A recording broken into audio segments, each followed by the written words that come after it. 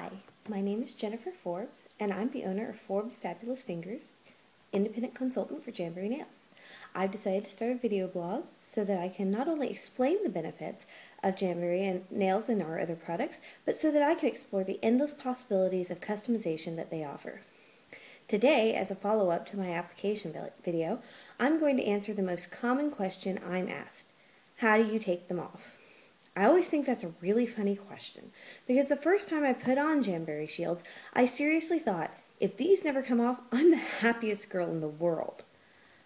Of course, I was in a moment where I had experienced a really easy method of making my nails look great and forgot that I have some ADHD.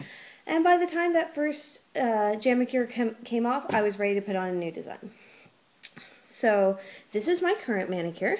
I've had them on for 16, uh, it's 16 days old, and it's starting to look a little worse for the wear. They do, however, look really good uh, because I put them on using my Jamberry application method that I showed you in the last video.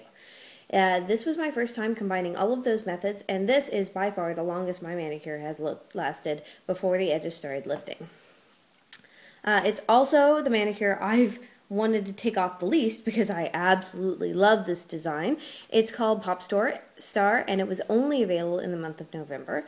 Uh, the moment I saw that we had shields that could only be described as comic book style, I fell in love with them, and this may be the only design I ever wear twice. We shall see. Anyway, on to how to take off your Jamicure. As you can see here, the adhesive on my first couple of fingers and thumb on my right hand is starting to naturally release. That's because I'm right-handed and these are the fingers I use the most. However, if you look at my left hand, you can also see that they're pretty firmly attached. So I'm going to have to actually remove them physically. Um, so here's what to do. Uh, I have half of an orange stick that's very clearly marked uh, so that I know not to use it anywhere else because it's going to be completely drenched in oil. I also have olive oil, a small bowl, and two paper towels. Uh, you can warm up your olive oil if you really, really want, but it's absolutely not necessary. Uh, so I'm going to cut to where I actually show you how I remove them. Uh, so give me just a moment to get everything situated. The first thing I'm going to do is I'm going to break the seal on one of my nail shields. The best thing about Jamberry shields is that they create a watertight seal uh, when you use the uh, when you use heat and pressure.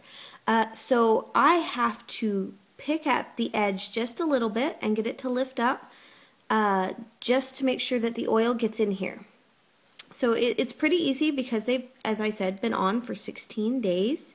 And you can see right here that the edges are lifting really easily. So now all I'm going to do is put my finger in the olive oil, and I know olive oil is expensive, so I only put in just a little bit to cover my fingernail, and I'm going to push that oil underneath the adhesive for my nail. I'm going to push it uh, until it's attached to every piece of the adhesive. Okay. And there we go. It just lifts right off. And uh, so what I'm done now is I have an oily shield and I have an oily finger. And so what I'm going to do is I'm going to take this shield and I'm going to put it on my uh, first uh, paper towel right over here, just so it doesn't get everything oily.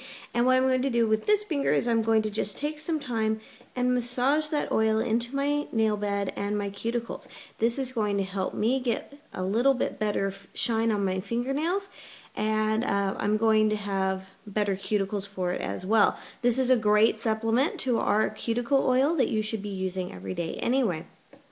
So as you see, the nail, the uh, the olive oil has taken off the adhesive completely. So I'm going to take my second paper towel and dry that nail off just a little bit, and I am left with a slightly dirty uh, underneath the nail, but still uh, incredibly fresh and new looking nail, healthy as ever.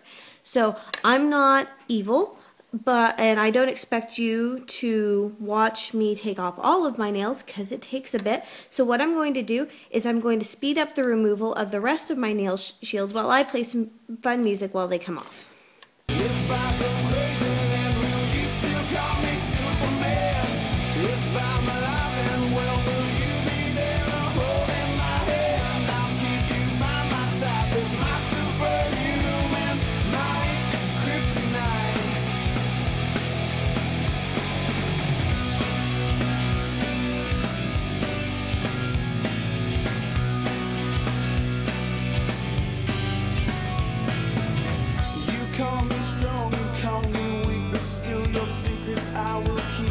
took for granted all the times I never let you down.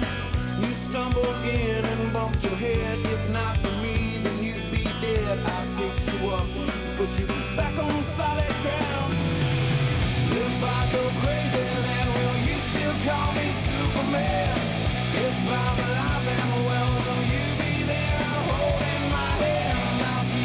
And so here you have it. I have nice, clean, healthy nails ready for my next Jamicure. Uh, the only thing that's left is to wash my hands with some dish detergent just to make sure to get rid of any residual oil before I put on my next jams. Uh, so that's how you get jams off of your fingers. Uh, I guess all good things must come to an end. Uh, but with over 300 different designs, you're just about ready to start a new good thing. Uh, this is Jennifer Forbes from Forbes Fabulous Fingers signing off and hoping to see you next time. Have a great day.